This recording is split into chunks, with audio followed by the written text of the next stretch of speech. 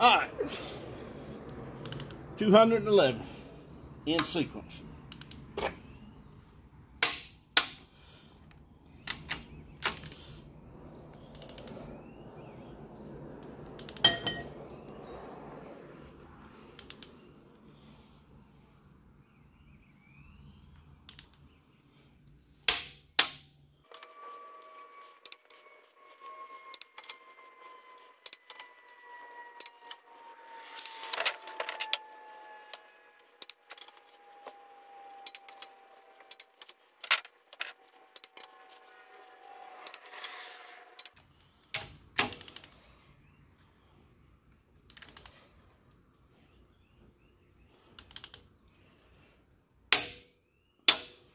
All right, we're gonna recheck them.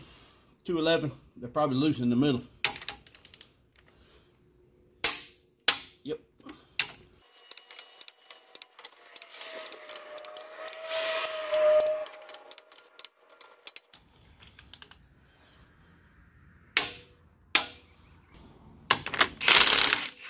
Now we gotta loosen them.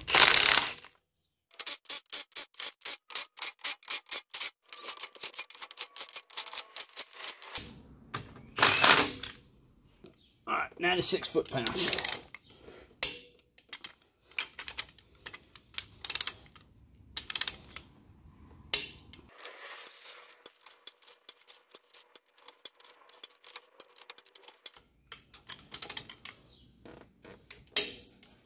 All right, recheck the 96.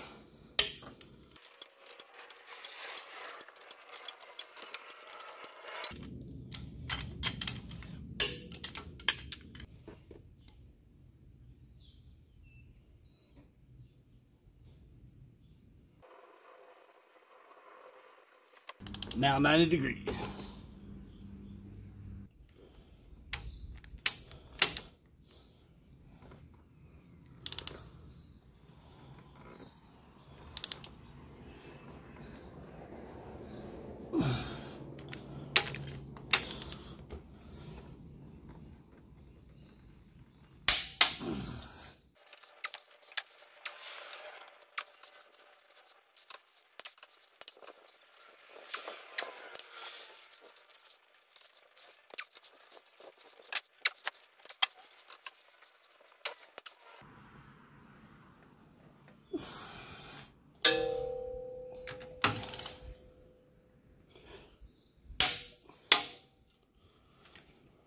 Whew, let me catch my breath. Too old for that.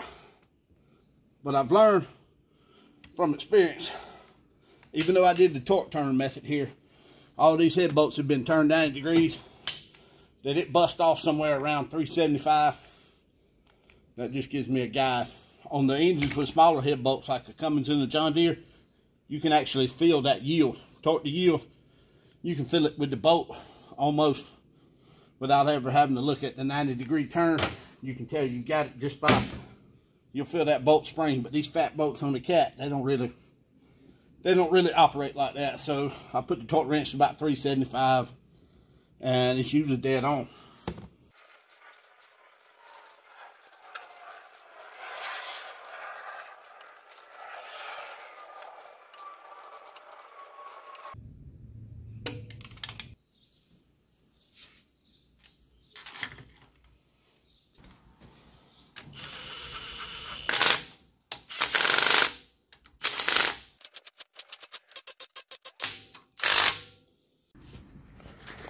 All right, I got all the push tubes in there except for number two exhaust and number three intake. They won't quite fit in the position of the cam. And I like to do it like that because the way the cat's made with those cam followers, the, the push tubes just rest right up on top. And if they're out of place, they'll fall. So if you try to put all 12 of those things in the cam followers and then put the, the valve rack on there, it uh, it's more trouble than it's worth. So I do them one at a time, and then I'll be able to put the other two in when I do the do the 360 degree rotation for the second valve set. Exhaust 25 thousandths, and the intake's 15 thousandths.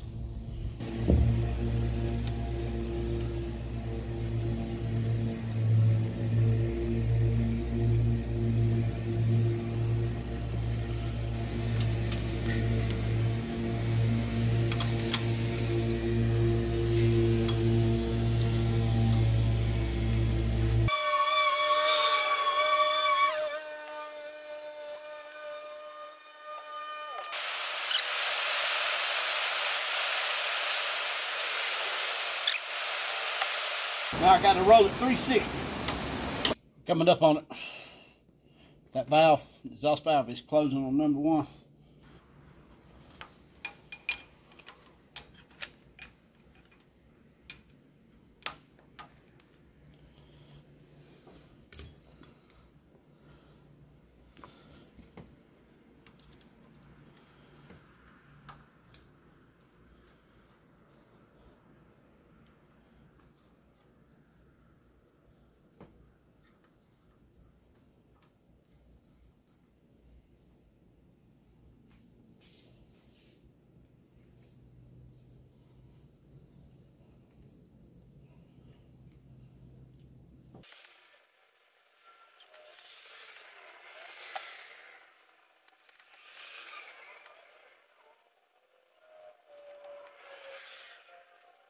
Exhaust, intake, exhaust, intake, exhaust, intake.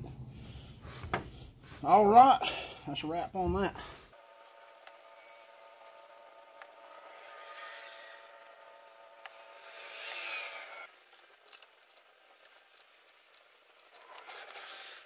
That's it for today. I got to get on back to the shop and put out some fires.